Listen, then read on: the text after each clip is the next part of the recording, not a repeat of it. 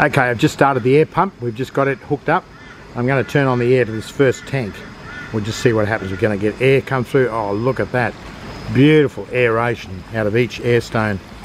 Glorious, but it's a bit too much, so we'll start adjusting it back a little bit to each one so we don't we share the air around nicely. We want six litres per minute coming through each air stone. This is obviously too much, so we'll adjust this one. This little tap needs to be changed around, but anyway, that's that's nice airflow. That's about what we need. Beautiful, beautiful. Have a look at that, eh? How good's this one? Get this one adjusted back to just about just about there. That's about perfect.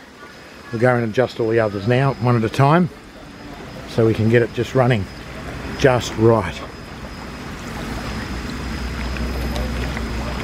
This tap's being a bit stiff on me one-handed, so that's about right. Perfect again. Last one.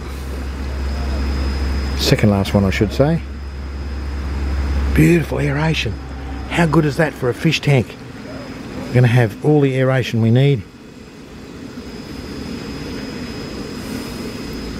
Perfect. Have a look at that.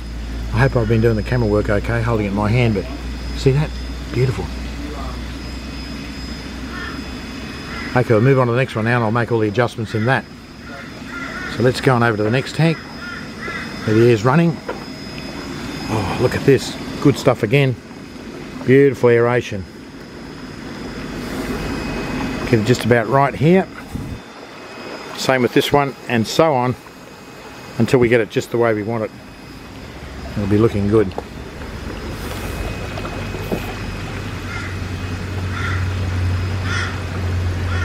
Okay, there you go. I'll just adjust the others around the other side.